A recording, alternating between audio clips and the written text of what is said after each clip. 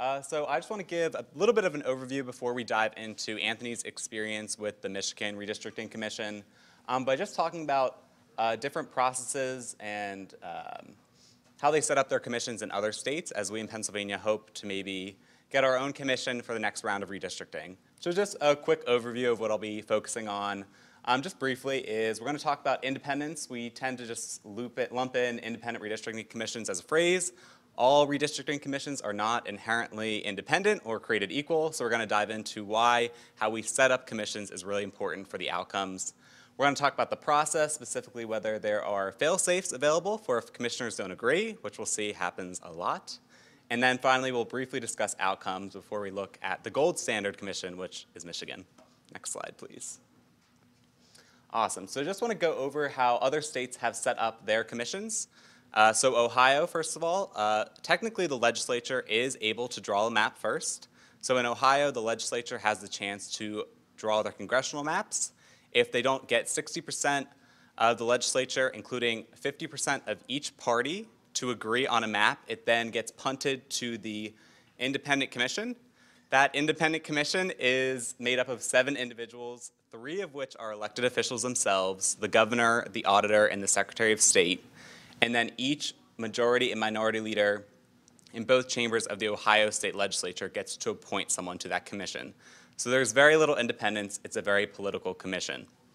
Virginia, on the other hand, has 16 people on its commission, eight citizens who are appointed by former judges, and then eight uh, appointees of legislators um, appointed once again by the majority and minority leaders of the legislature. So once again, it's about split half and half, but it's still um, primarily a partisan commission.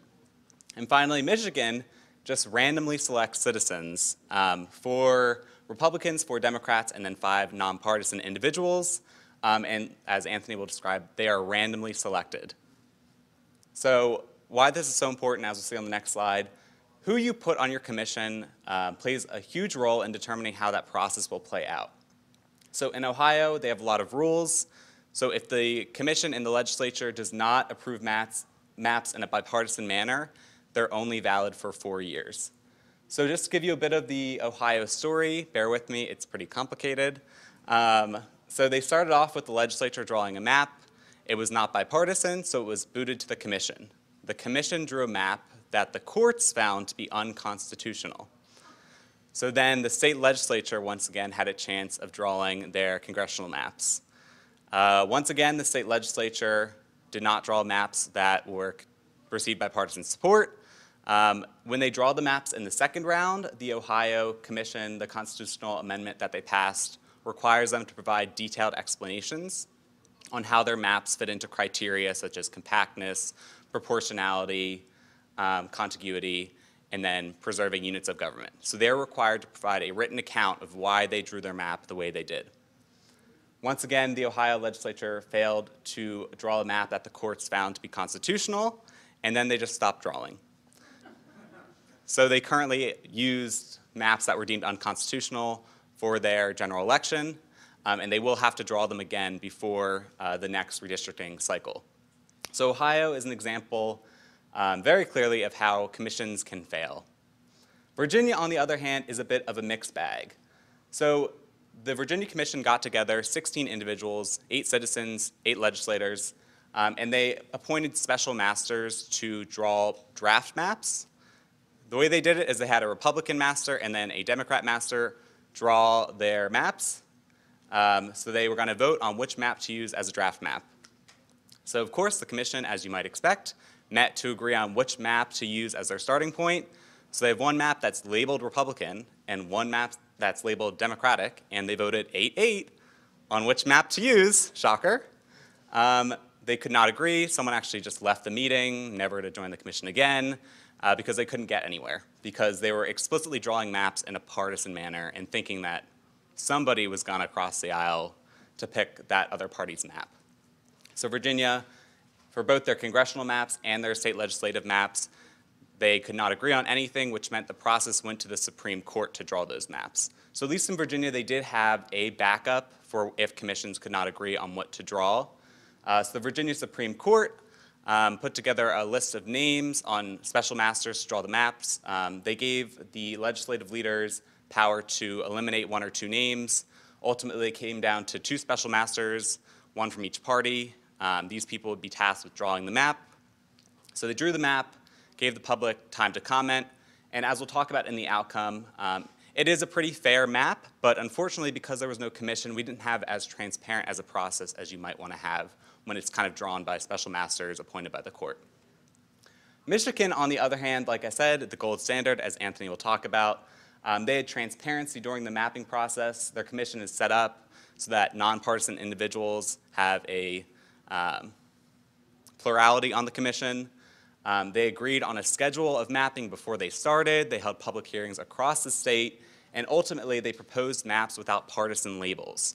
So they were all voting on maps named after trees, as Anthony will talk about, rather than labeled Democrat or Republican. And then to agree on maps, uh, they used ranked choice voting. So on the next slide, I'll just go over the outcomes. So Ohio, thumbs down. So ultimately, they are voting on unconstitutional maps that will only be valid for four years or two general election cycles. Um, and they didn't get anywhere, and they eventually just stopped drawing maps and stopped following the law, essentially. Virginia, they didn't have agreement by commissioners, but at least they had a backup plan for what to do if they didn't agree. That power was sent to the courts, and they came up with a pretty fair map. Um, the election results were 52-48 for congressional seats, and they have a 6-5 split.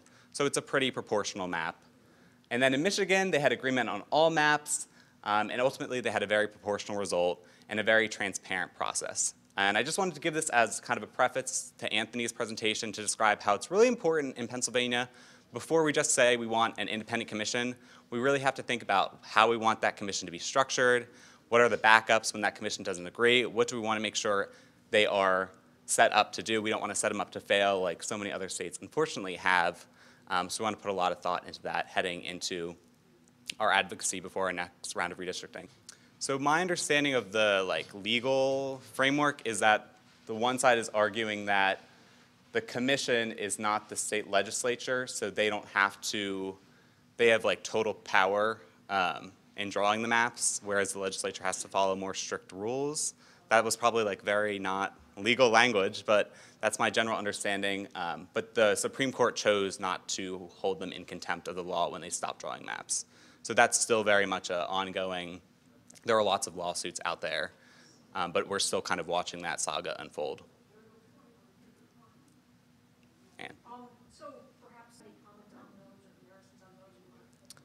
Yeah, so uh, yeah, I can briefly just say I picked these because they're most similar to Pennsylvania as a state. You know, Virginia is a Commonwealth. They're both, um, you know, Mid-Atlantic states, um, states in the Midwest, Rust Belt states, um, and obviously they have a good variety of outcomes. Um, I would say like yeah, Colorado, Arizona, um, California, New York. They all have relatively success, successful mapping um, commissions. Um, but I think Michigan was the one that had the most um, favorable in terms of the public outcome. I know there were some controversial decisions in both Arizona and Colorado with their independent commissions, particularly in terms of communities of interest. Um, and something else I would note that Anthony talked about um, this morning was that Michigan has criteria and they're ranked in level of importance, which is something I think other commissions don't have.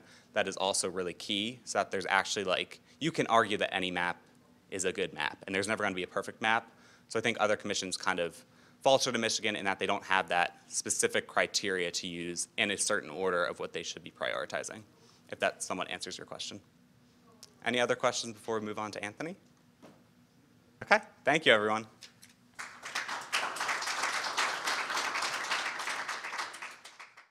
All right, thank you Michael for that, uh, for teeing me up there and comparing Michigan to some of the other processes in the country, man, Ohio, right?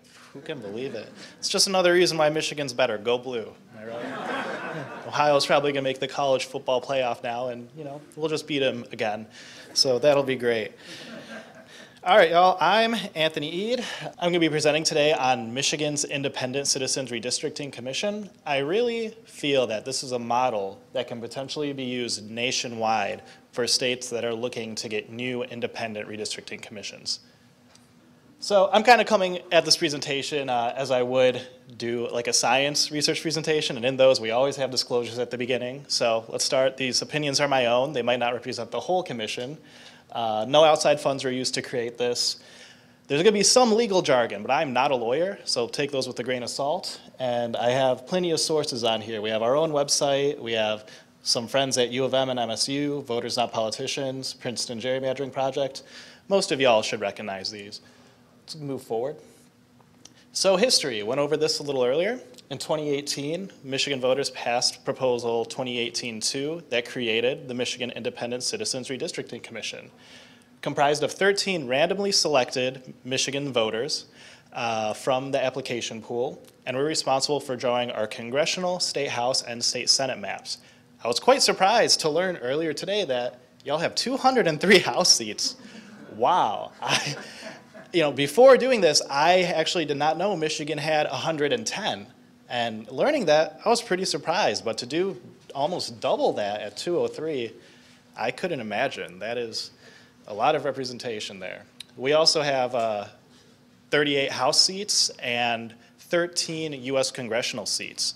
We had 14, uh, but according to this last census cycle, we've gone down to 13. One of our core values is transparency. Uh, transparency is constitutionally guaranteed. We have to follow the Open Meetings Act. And all of our meetings were live from the first random drawing process where we were, we were selected to interviewing our staff. You know, I always feel bad for our staff because who would want to do an interview on YouTube in front of like the whole state watching? But, but they did it and the public commented on their applications and commented on their interviews and the public had a say in who we hired. And finally, in the map drawing. All of our map drawing happened live. Uh, people could comment in real time while we were drawing maps. People could submit maps to us. Um, so, you know, transparency was really one of the core values of this commission. And um, finally, even all of our mapping data was available to the public. So any line, even a single change that was drawn to any single district would be uploaded to our public portal for the public to see and do their own analyses on, or submit comment to us if they wanted to.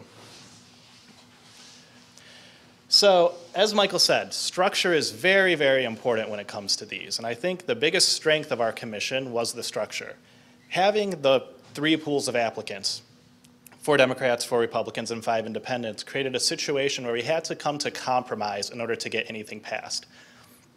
I happen to think that's a good thing. Michigan is a purple state people on both sides of the aisle, lots of moderates on both sides, lots of independents, and uh, having to come up with that compromise so one side couldn't team up with each other or railroad the other side, uh, I think was a big reason why we were successful in these maps.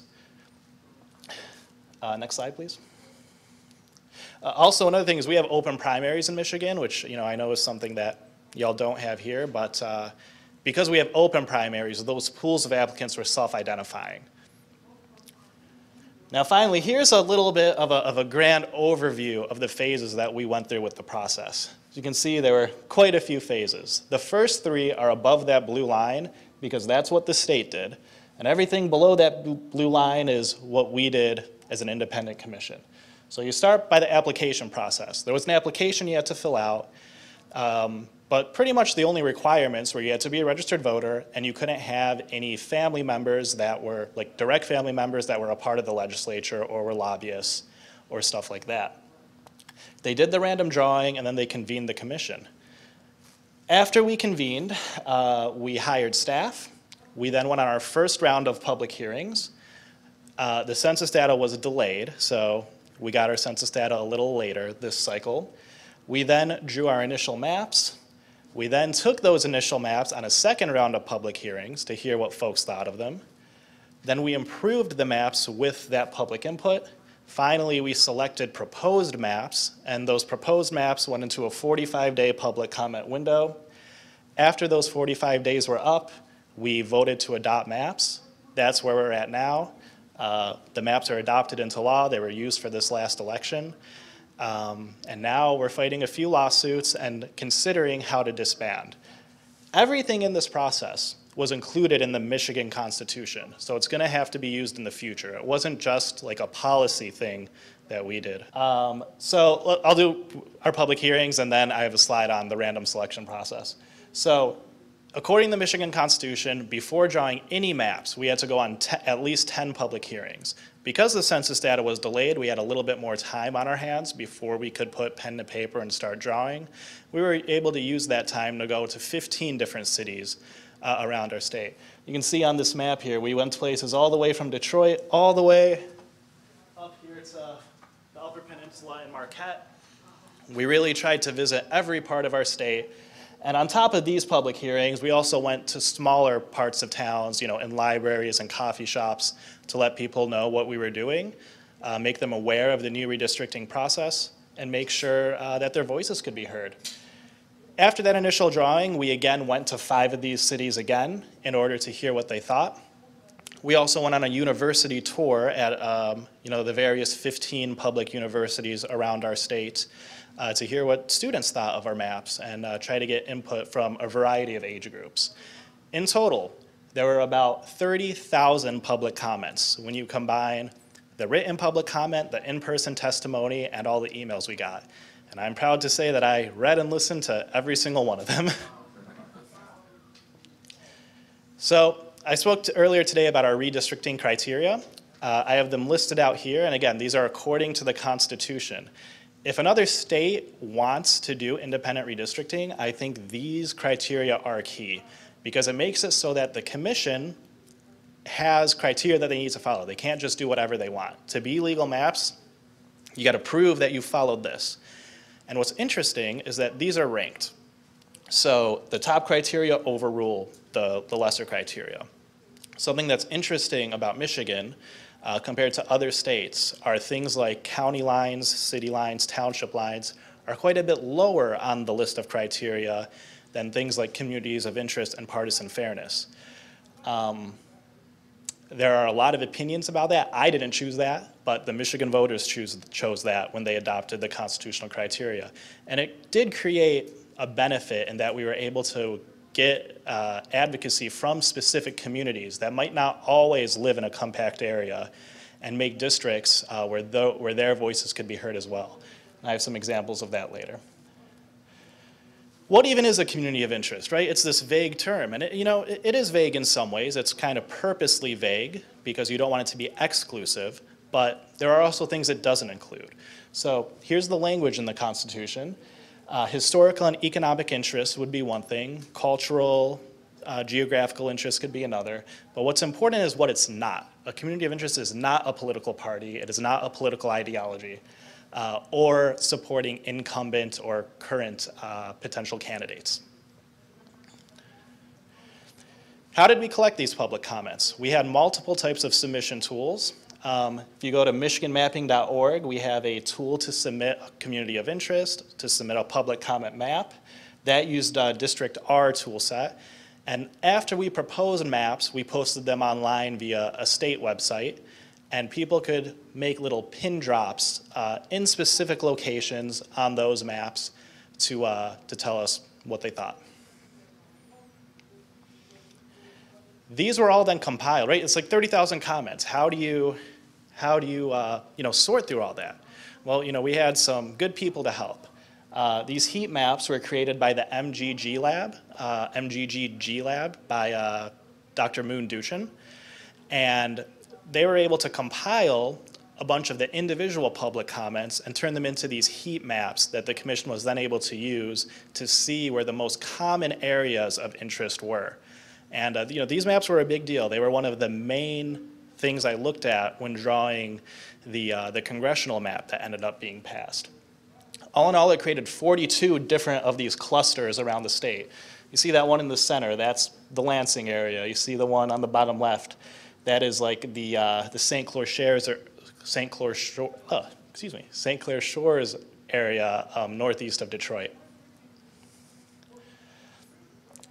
And these public comments, they really did end up in the final map. On the left here, I wish you could see it better, but we have a, a, testimony from an individual from West Bloomfield advocating for West Bloomfield to be included in their surrounding counties because previously it had, uh, for political reasons, been put with uh, more northern counties that did not have a community of interest with West Bloomfield. On the right is the district that ended up in the final map, District 20, which recombined West Bloomfield with its fellow neighbors. Next slide. Here's a public comment about Dearborn Heights, an Arab American community of interest. Um, and you can see on the left, that is the map the individual submitted. Right here. You can see the final map, the district, district number 15, that ended up being added, uh, is pretty darn close to that comment. Next slide.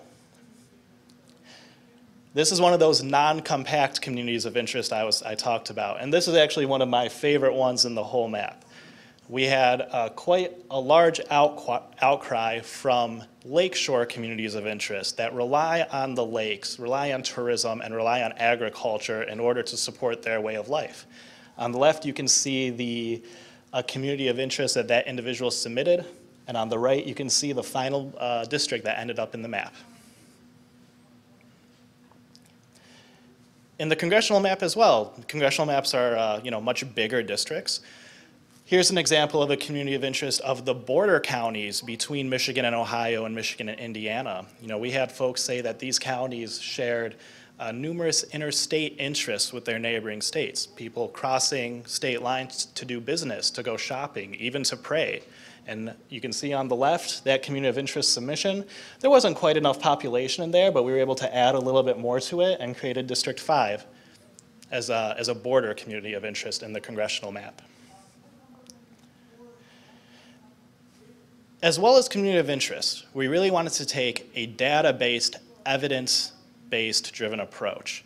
Uh, as well, on top of doing a racial uh, voting block analysis, we also undertook the first ever Arab American and Bengali voting pattern uh, study. I believe it's the first one of its kind conducted in the country.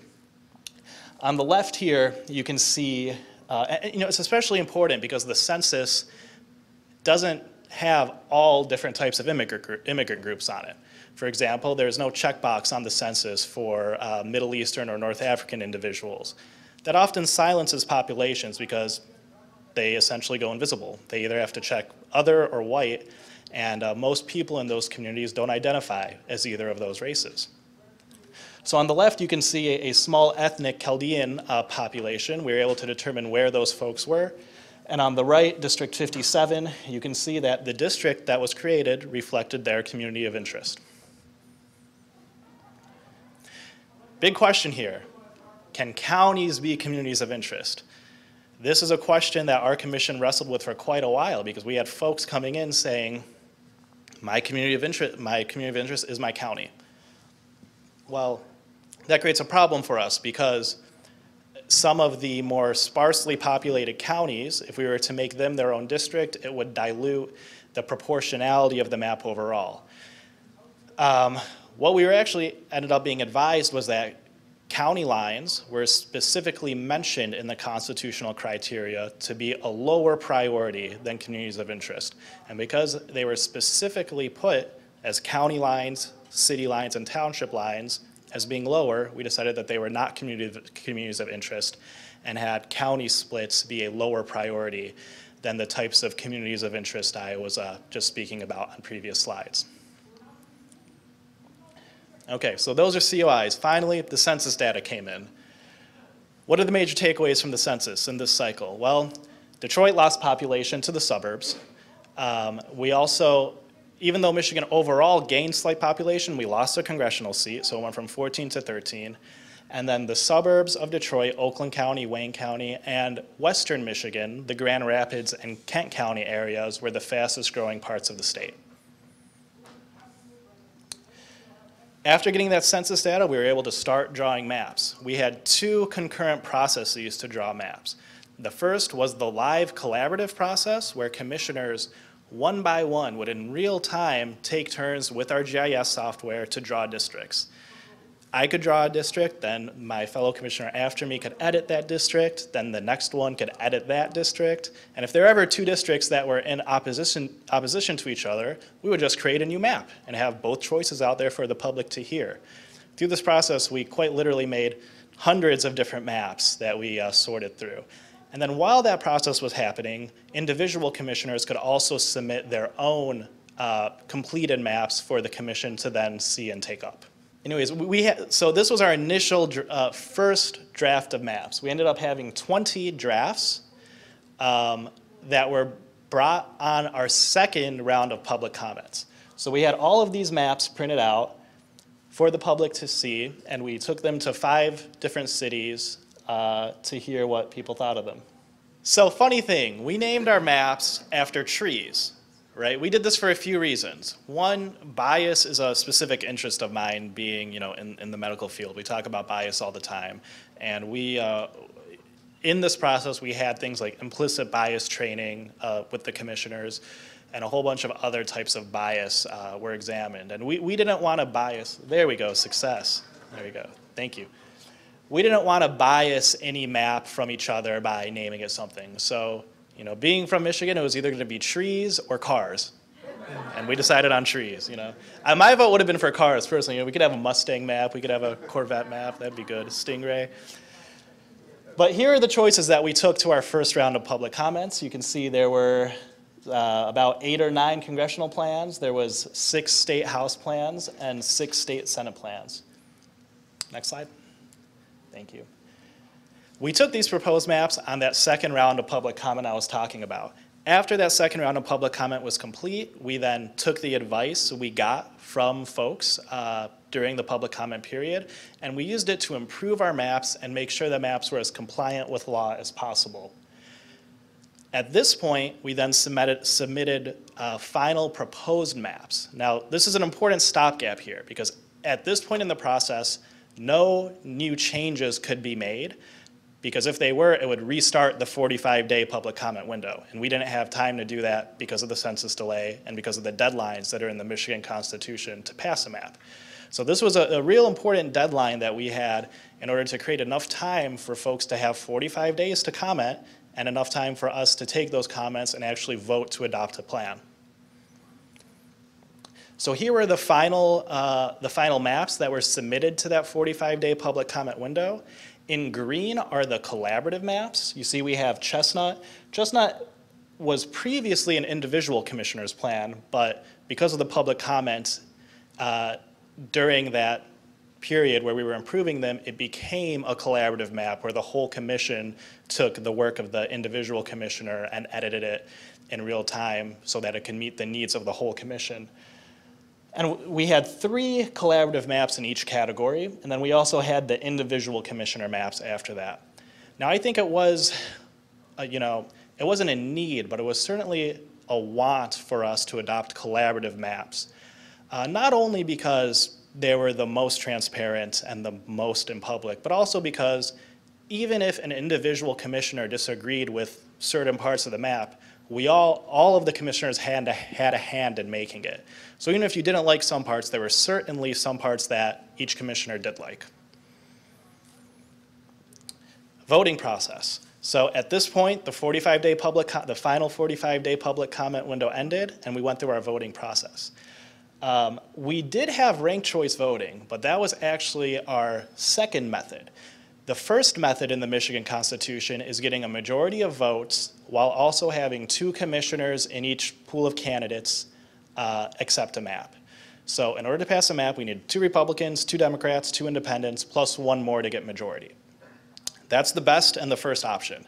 If that option did not work, which it did luckily, and I think it did work because of the collaborative process that we had, but if it didn't, we would then move on to the ranked choice voting process where commissioners would rank their top choices, but even in that process, you had to have two votes in the top half of your rank uh, be from two Democrats, two Republicans, and two independents. And then if that also didn't work, there was a third option, and we called this the nuclear option, uh, where every commissioner would pick one map to put into a pool, and the Secretary of State would randomly select it. Luckily, we did not have to do that. The method one prevailed, and we were able to pass maps, uh, not unanimously, but with a majority of commissioners, and uh, that had commission commissioners from each pool vote for it. Here are the final maps that were adopted, and these are results uh, from, the, from this previous uh, 2022 election. We're finally going to start talking about outcomes. On the left, you have the Chestnut uh, congressional map. Uh, in the middle, you have the Hickory House map, and on the right, you have the Linden uh, State Senate map. Oh, misspell. I, you know, I wasn't an English major. Spelling's always been a, a weak point of mine. Uh, next slide, please. partisan fairness metrics. You know, like I said, we wanted to take a data-based, evidence-backed approach to this process. Uh, and in order to achieve this, we took a 10-year election history, the previous 10 years of elections, and compiled them into a composite score in order to figure out our partisan fa- fairness measures. If we look at the top on the congressional map, you can see that the composite score on efficiency gap, and keep in mind, some people disagree with what measures to use, so we used four different measures. Um, and all of them were much closer to being fair than what the previous maps drawn by the legislature were. And in all the maps, three of the four measures still had a slight Republican lean, but they were close enough to zero that the commission felt comfortable with it. And more importantly, the data showed that in years where Democrats got the most votes, they would likely get the most seats, and likewise, in years where Republicans got the votes, votes they would also get the most seats. I have a comparison here between three previous elections 2016, where uh, uh, the Republican candidate, Donald Trump, won by a slim margin. Then you have 2018 midterm election, where the Democrats was it was a wave that year. Uh, they won by a quite significant margin. And then you have a, the 2020 presidential election, where the 20 where the Democratic candidate Joe Biden won, but by a much smaller majority than what had been shown in the 2018 election. And if you go through all this data, basically what you see is that the maps are fair. We went from an efficiency gap of plus 12% Republican in the congressional map to 0.6%. And uh, I believe that's the lowest number according to 538 of any map in the country.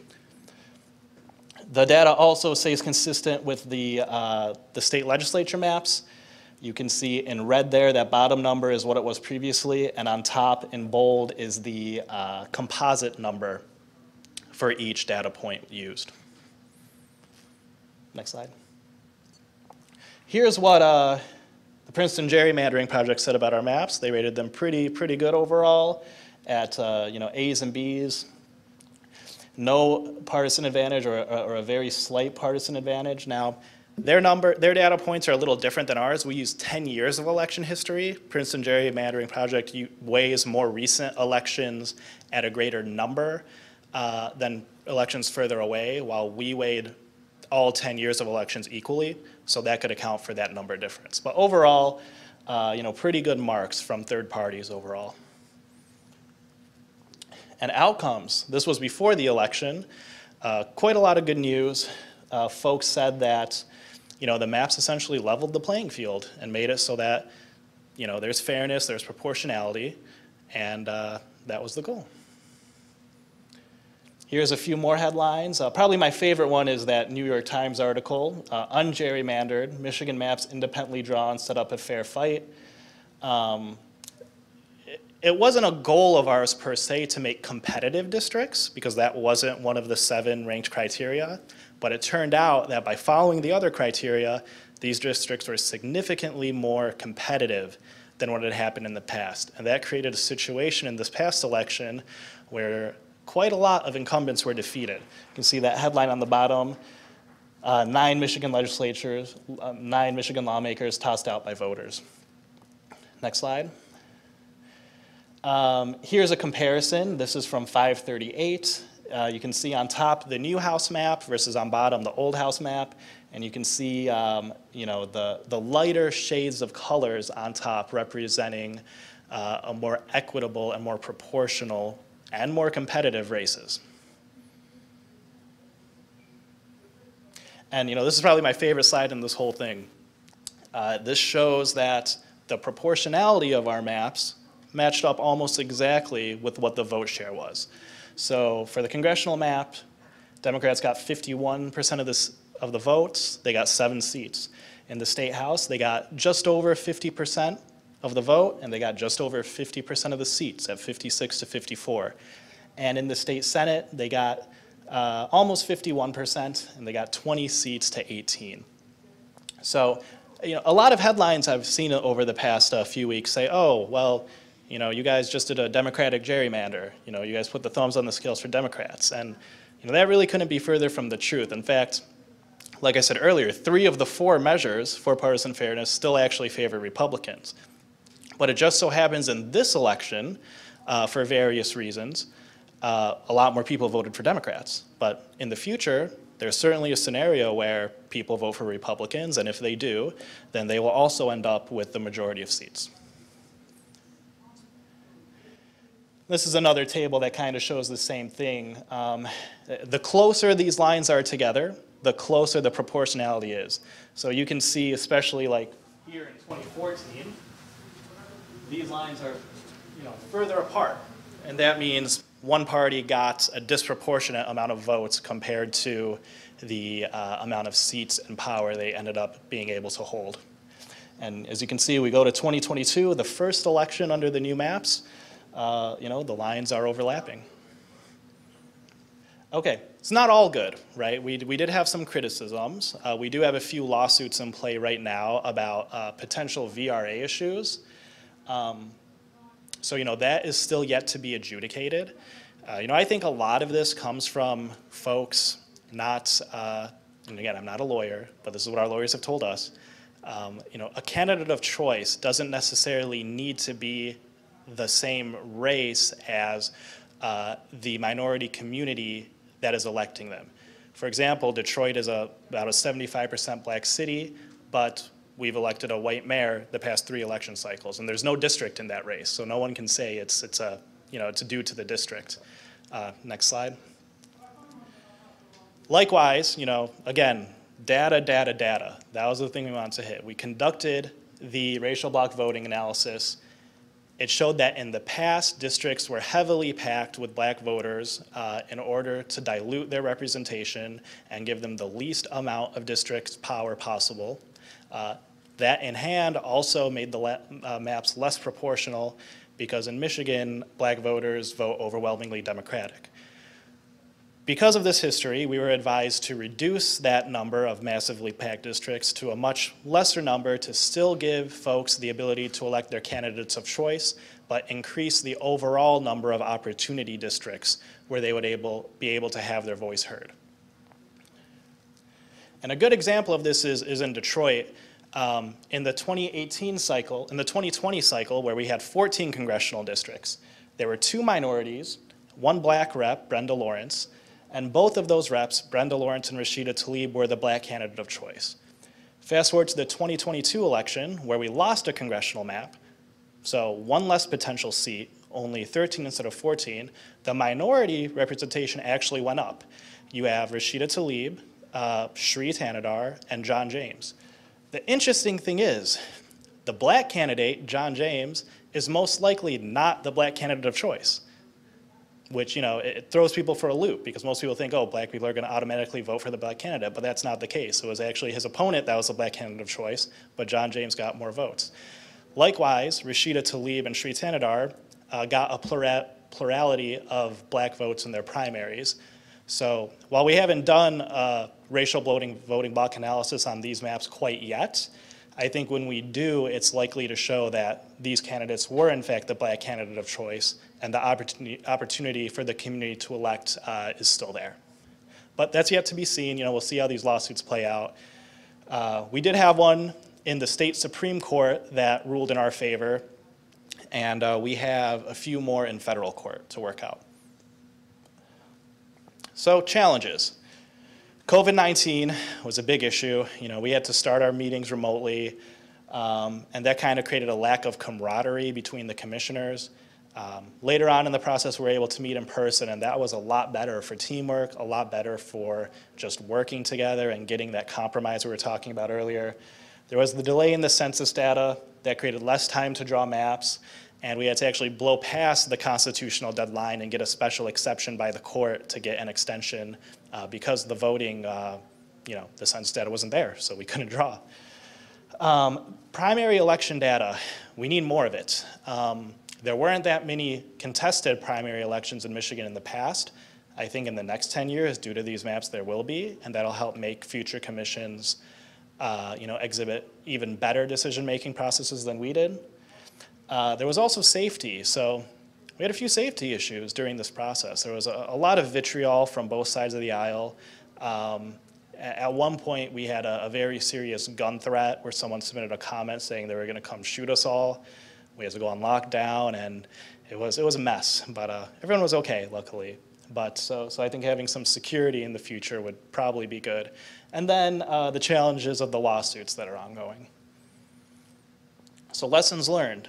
What you want is clear but flexible constitutional criteria. You want some criteria that the commission has to listen to, but maybe don't go as far as having you have to be done by this date, because maybe another pandemic happens and you gotta blow through it. Um, we had a relatively small staff. We had an executive director, a legal counsel, and a communications director. Um, and our budget was pretty small too. We were just working with about three million a year uh, which is a fraction of what other similarly sized commissions um, are. For example, Arizona has about the same population as Michigan, but they spend uh, almost 12 million a year on their initiatives. We're doing it with only three.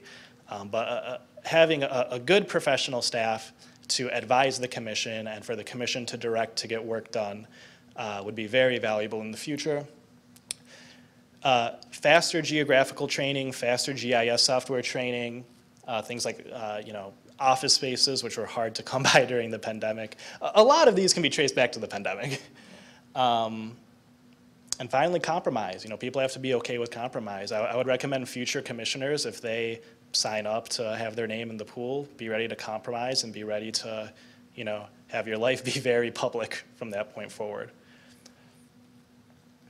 All right, Q&A.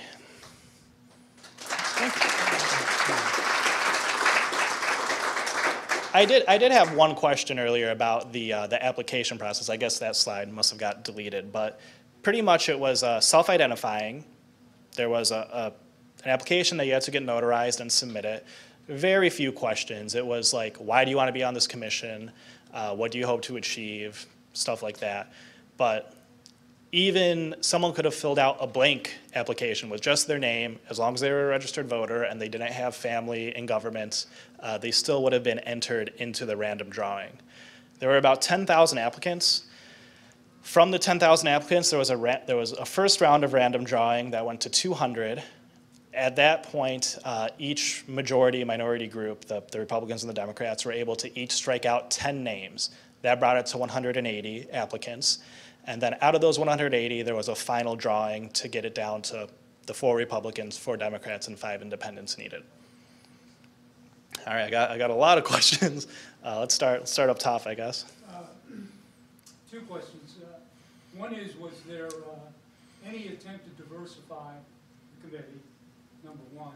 And since so the, to the first question, there were some geographical weights put um, on the random drawing. I'm not sure exactly what they were. They're on the Secretary of State's website. Um, not, but not racial. They were geographic. Okay. In the future, and you know, so there's thir there's 13 of us on this commission. There are three minorities, myself and two other black women. Um, but you know, Michigan's a pretty diverse place. There's you know, we have a very large enclave of Asian Americans, a very large enclave of uh, Native Americans uh, of Indian Americans, Bengali Americans. It's really a, quite a diverse state. And um, it would be nice to see in the future to have some more, uh, you know, a little bit more better racial representation there. And also possibly a better representation of age groups. Um, one of the reasons I decided to, to take the role of commissioner when I learned I got selected was because I saw the, uh, the rest of the commission and the average age was in their 60s. And there's nothing wrong with that, but I just wanted to make sure there was a diversity of ideas um, and, you know, thought to, uh, to have maps that were representative of everybody in our state. So that might be something to do going forward. And the training? Uh, we had no training before we were selected, absolutely zero. Um, after we were selected and after we convened, we then uh, had training from various folks. Uh, we had uh, University of Michigan, MSU come in. We had the California Commission and Arizona Commission too, and give us some lectures. We uh, then had more training via our professional staff that we hired, you know, to actually do like do the mapping with the software and whatnot. But uh, having more of that training, especially geographic training, would be really helpful. I mean, I definitely didn't know what all the counties were in Michigan before joining this, but you know, I do now. I had never been to the UP prior to joining this, but uh, you know, I'm happy to say I have now.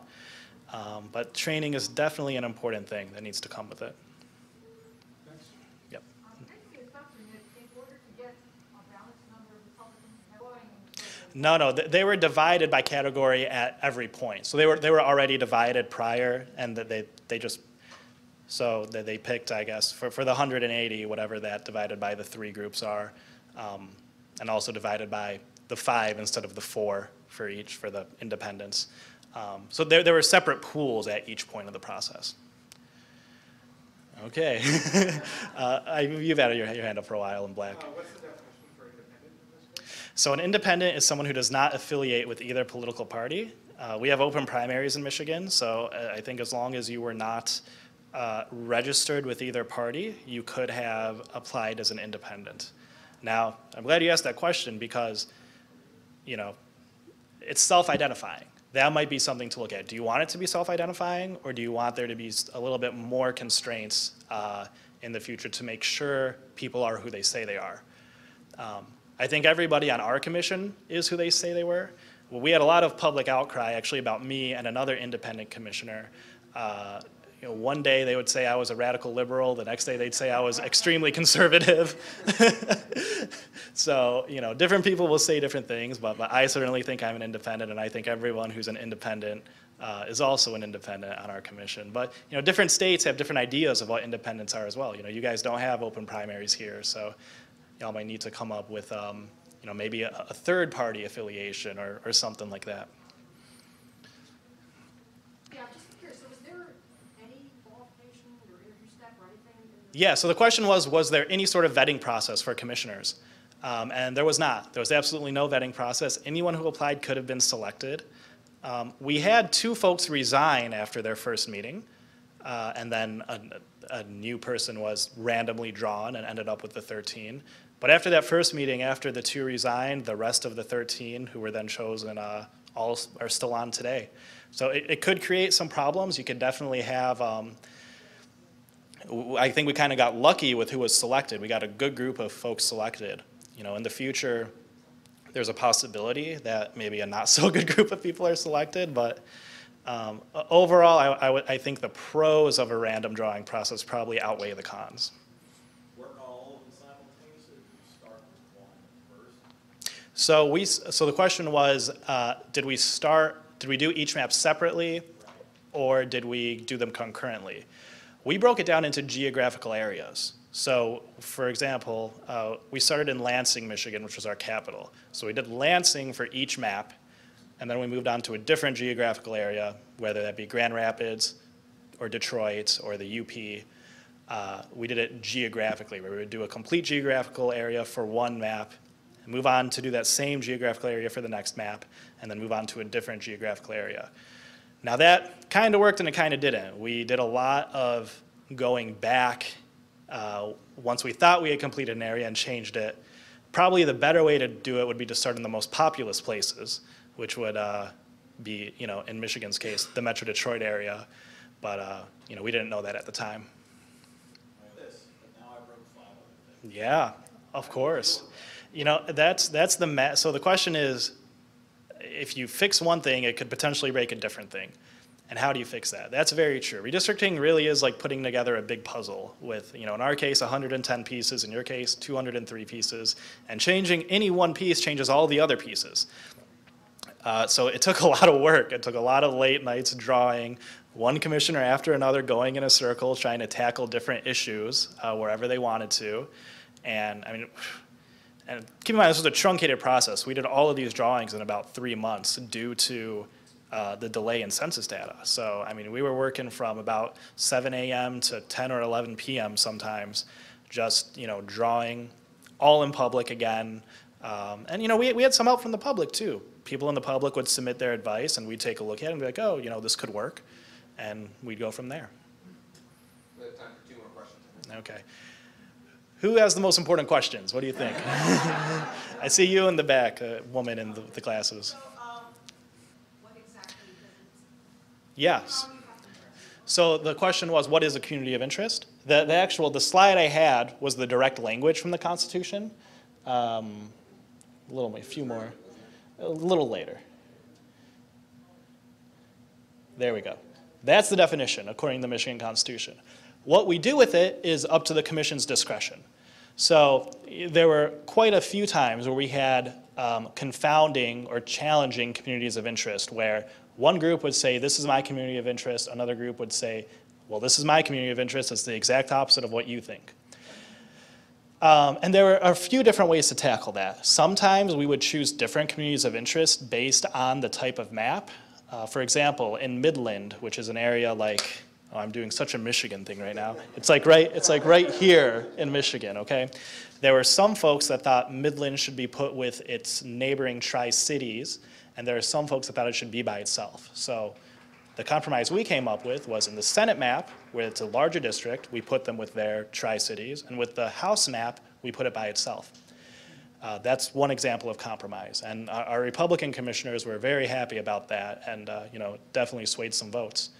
Um, Another compromise is to follow the, like, look at the constitutional criteria and see which lower factors reinforce the communities, of- communities of interest, because they're not always mutually exclusive. Sometimes one community of interest would also help with partisan fairness, or also help with having a compact map. And if that were the case, we would often choose that community of interest that helped with the other priorities as well. And then in the yellow. would be highest priority to Ooh. that? That, is a very good question. It wouldn't be the, the composition. I think the composition is quite good. I would leave it as four, four, and five. I think that's a good makeup, you know. Yes, I would agree. And, you know, Michigan's, uh, you know, voters not politicians, when they put up the, the, uh, the voting initiative, they based it off of California's, but they tried to improve it. So it's probably gonna take someone smarter than me to determine what, how it can be even further improved. Um, but, but there are some things that are a little bit too specific in the Michigan Constitution, like it has very specific deadline dates. I would remove those.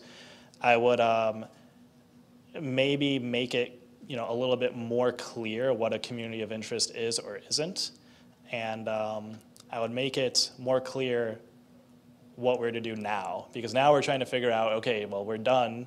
Once the lawsuits are, the the Constitution says we have to stay a commission until the lawsuits are over, but doesn't really say what we're to do after that. So we're trying to figure out how to disband, and then what to do if there are future lawsuits, which there almost assuredly will be, uh, how to come back, uh, you know, as a commission when that happens.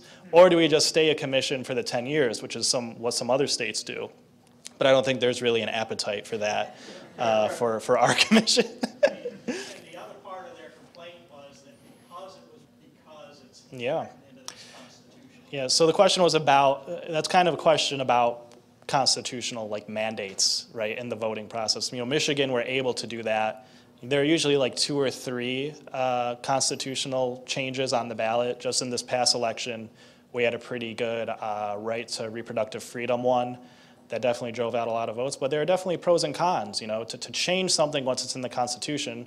The only way to do that is with another constitutional ballot, and that is quite hard to pull off if you're just trying to change one or two words in something. Um, so, you know, that might be where hopefully we can share these outcomes with, with folks in the legislature in your state, and they can look at some of them and, uh, you know, come up with their own compromise on, on language. So it doesn't necessarily need to be in the Constitution, but could be a, a regular law. All right, guys, thank you.